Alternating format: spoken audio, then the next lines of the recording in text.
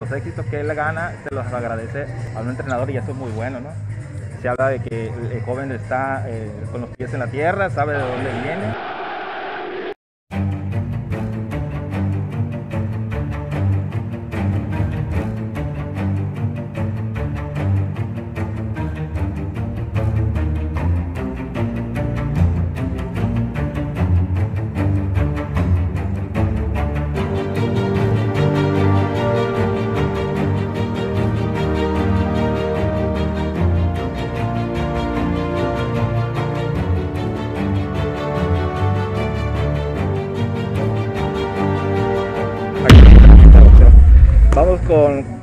Juan Flores Sumaya. ¿Cómo te encuentras, Juan? Hola, ¿qué tal? Buenas tardes. Pues aquí estamos ayudando a los muchachos a que realicen sus actividades deportivas. Por lo de la pandemia estamos trabajando con muy poca gente, como se van a dar cuenta. Pero son muchachitos que tienen posibilidades de representar al Estado en próximos eventos. Muy bien. Eh, al, al otro lado se encuentra el campeón y gran amigo y gran persona, Ramiro Reducindo. ¿Cómo estás, Ramiro? Ah, muy bien, muy contento. Este, la verdad, un gusto tener por- a esa gente por acá de, de edición de- deportiva y sobre todo, pues como dijo el, el profe Juan, aquí estamos ah, poniendo con nuestra granita de arena con estos jóvenes, nuevos talentos, nuevos prospectos. Y, y, pues no tan gran, bueno, un poco gran por diciembre, pero ahí va, ahí va la cosa. Gracias, muchas gracias, aquí andamos. Ramiro, este, una pregunta. eh, ¿Cómo ves el, el- el nivel de boxeo, el nivel de práctica a los chavos de ahora a los de antes? ¿Es, ¿Cambió algo en, la, en dinámica también? ¿Cómo, ¿Cómo entrenan ahora? ¿O es- es lo mismo? Mira, la vieja escuela eh, es muy diferente, ¿no? Hay cosas que van, se van este, por, por el mismo grado de dificultad para calificar a unos panamericanos, a unos centroamericanos. Va evolucionando el boxeo día con día, como tú lo ves en las peleas profesionales, en la amateur pasa lo mismo. Nosotros entrenamos eh, diferentes tipos de entrenamiento. Lo que no cambia o lo que yo pienso yo que no debe cambiar es el hambre de cada atleta, de cada, de cada deportista, ¿no? Las, las cargas de trabajo son diferentes, ¿por qué? Porque si te das cuenta, eh, ahora son más fuertes, son más explosivos, son más rápidos. Antes a lo mejor ese nivel no, no, no, era el, el que tú mirabas, ¿no? O, o simplemente con, con tan solo el hecho de decirte, eh, hablando, hablando de todo un poco, en, el nivel que nosotros ma- manejamos eh, fue un nivel que nos dio a ser campeón de los Juegos Panamericanos. Entonces llegamos a, las Olimpiadas, perdimos con uno de- con campeón de Europa. Y eso, es- eso es lo que te habla de que se hizo un trabajo muy bien. Y ahora para llegar a ese, a ese nivel y lo que tú ves, sí se puede, pero tenemos que, evolucionar, pues tenemos que trabajar como estamos trabajando en Unión, pero todavía con más capacidades, con diferentes cargas de trabajo. ¿Por qué? Porque ahora el nivel es más duro, es más fuerte. Tan solo hecho, no vamos, no me a mentir, aquí está Juan, Juan Sumaya. Eh, tuvo a Isaac intentando ir a unos Juegos Panamericanos. No se logró la clasificación. Isaac es un peleadorazo y tan profesional, va invicto va a ser campeón del mundo con el favor de Dios. Entonces, eh, a eso, a eso me refiero, pues, o sea, no que, no queda más fácil, sino que eh, tenemos que evolucionar más. ¿Para qué? Para que estos chavos que, dan la edad de 2004, 2005, 2006, cuando lleguen a la etapa de, de primera fuerza, sea un equipazo, sea un equipo muy fuerte y que tenga las cualidades y las capacidades para desarrollar en ese, en ese nivel. O sea, aquí ganamos, aquí ya ganamos en regional. El año pasado, gracias a Dios, antes, sí, el año pasado pasamos cinco, seis, perdón, y, se nos fueron por los Juegos Nacionales. Y ahí yo creo que era, era crucial eh, foguearlos a ellos y lograr un, objetivo muy, muy bueno iba a ser. Pero bueno, ahora vamos a esperar estos que vienen, este, con más hambre, con más ganas. Algunos repiten categoría, otros suben de peso porque pues, son chavos que van evolucionando. Pero eso que tú acabas de decir es muy cierto. Nosotros también tenemos que evolucionar. ¿Por qué? Porque el boxeo mm, va cada día mejorando las, todo. Y qué bueno, y qué bueno porque nos hace, tanto la pandemia nos hace ser, ser como dicen por ahí, pues evolucionar, adaptarnos a lo que estamos viviendo, ¿no? Transformar. Transformarnos, exactamente. Y ahí va la cosa, ahí va la cosa. Estamos muy bien, estamos contentos. Y pues con pocos jóvenes podemos pulirlos con, con más, más eh, ahora sí que a molde, a, a, a corregir los errores. Esa es la ventaja que tenemos y gracias a las autoridades que nos permiten trabajar con este, con este sana distancia, con pocos jóvenes. ¿Por qué? Porque pues algunos lugares están cerrados, la mayoría. Y a seguir trabajando, a seguir trabajando y tener fe en Dios en que todo va a salir bien y que vamos a estar bien en, unos meses más adelante. Muchas gracias campeón, este, te agradecemos por tus palabras, por el tiempo. Este, esperemos eh, estar viniendo más seguido si nos invitan, eh, eh, ver una sesión más, más cerca, un chavo que tenga un prospecto para darlo a conocer también igual este, y los planes que tenga. Sí, no, sí, con muchísimo gusto. Le agradecemos a ustedes este tipo de redes sociales que nos ayudan mucho a, promocionar. Ahorita, pues digo, no podemos tener mucha gente, pero les agradecemos mucho y ustedes son parte fundamental de que la gente se entere de lo que estamos haciendo. Y, dar las gracias a, Manzano, a ti por, este trabajo que hacen, que es muy bueno, que ya estaba en su programa y un saludote y, lo veo por acá a Pepe para, para una carrita asada, por cierto. Para darle más los cachetes. gracias, campeón. Dale.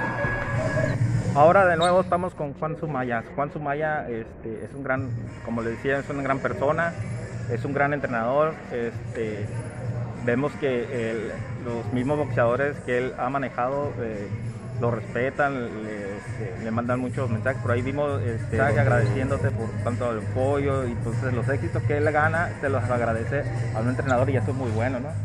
Se habla de que el joven está eh, con los pies en la tierra, sabe de dónde viene eh, no dudamos que sea un, gran campeón o vaya a ser un gran campeón porque, tiene las facultades y, cualidades este, y un chavo muy disciplinado. ¿Qué nos puedes decir tú de, Isaac? Eh, ¿Cómo desde tú, sabemos que tú lo llevaste desde un inicio, estuviste con él, más allá del entrenamiento deportivo, fuera de, también hay convivencia como familiar o amigo, se puede decir. Sí, claro. Platícame cómo es Isaac fuera de y dentro de? Pues mira, empezamos con Isaac dentro de, dentro del gimnasio, él se inicia a la edad de 13, 14 años. Él era un muchachito robusto, obesito, pesaba 105 kilos. A pura disciplina, a puro. Este, con muchas ganas, él logró dar 75 kilos. Él fue a su primera Olimpiada Nacional, no, tuvimos un resultado, después fue a la segunda, trajo medalla de plata y en su tercera Olimpiada Nacional ella pudo, pudo agarrar el oro. De ahí ya nadie le volvió a quitar, ya obtuvo como tres o cuatro medallas de oro, que fue lo que lo llevó a, la selección nacional.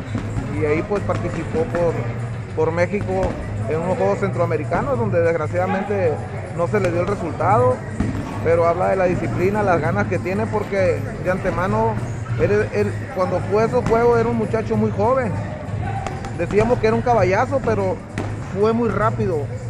Era un muchacho muy bueno, pero le faltaba la experiencia. La experiencia tiene mucho que ver en este caso porque él fue muy joven. Desgraciadamente no se dieron los resultados y él pasa a formar parte de, del profesionalismo, en donde pues ya tenía muchas ganas, tenía, su ilusión era ir a los Juegos Olímpicos, pero pues desgraciadamente ya no se dio el resultado y decidió incursionar al, boxeo profesional, en donde ahorita se encuentra invicto con siete peleas, cero, cero perdidas. Un muchacho muy disciplinado, que logra lo que se propone y primero Dios, como dice nuestro compañero Ramiro Reducindo, va a ser campeón del mundo. Primero Dios. Con mucha confianza, primero Dios, exactamente. Juan, ¿y, cómo es eh, Isaías por fuera, como amigo, como persona? Este, Isaac es, un muchacho que ahorita está bien centrado todavía, como tú lo decías, él siempre mira de dónde viene, de, las raíces, como lo dice perfectamente, él siempre que tiene oportunidad, pues nos manda saludos. Yo me siento muy orgulloso, desgraciadamente, pues él se encuentra en Tijuana ya con el señor Eri Barra, que le mando un gran saludo, el señor Eri que lo está promoviendo muy bien sinceramente se encuentra en muy buenas manos. Él es un muchacho que obtiene lo que se propone. Cuando íbamos a hacer, cuando fue a la Olimpiada Nacional, voy a ser campeón nacional, profe, y se preparó y le echó muchas ganas y logró ser campeón nacional. Él, si dice voy a hacer esto, lo logra.